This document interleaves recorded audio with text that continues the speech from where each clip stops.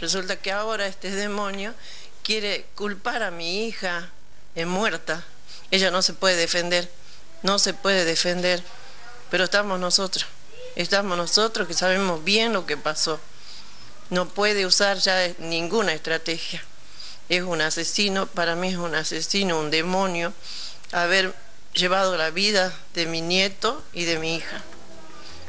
No tiene perdón, no tiene perdón, yo lo único que quiero es justicia justicia divina y justicia y confío en los fiscales que están llevando a cabo este proceso.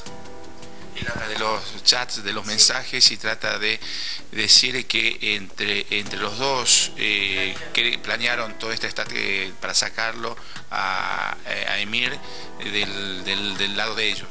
Sí, eso me enteré, que eso está, pero no, no le veo, no sé qué tiene realmente en la cabeza.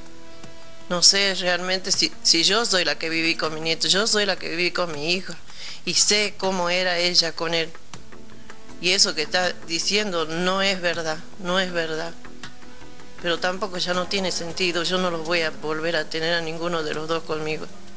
Solo Dios sabe, solo Dios sabe lo que, lo que se siente, la ausencia, solo Dios sabe cómo nos sentimos toda la familia cómo nos destruyó, destruyó a mis nietos, destruyó a las amigas, a nosotros como padres.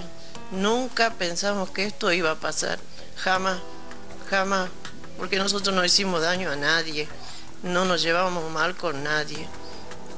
Y llegó este monstruo acá, ni siquiera un mes tratamos, lo conocimos hasta que pasó esto. ¿Alguna estrategia de parte también de, de, quién, de su abogado? Claro, yo pienso que sí que es una estrategia también de su abogado, porque tiene todas las pruebas en su contra.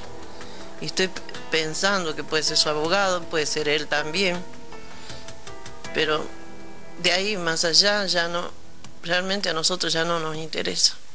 Solo quiero justicia y si sepa la verdad, pero nosotros ya la sabemos, ya sabemos lo que pasó y yo sé que mi hija no fue capaz no fue capaz porque la vi desesperada cuando el chiquito estaba acá. Ella fue la que primero intentó salvarlo. Así que no, no le creo, no le creo para nada.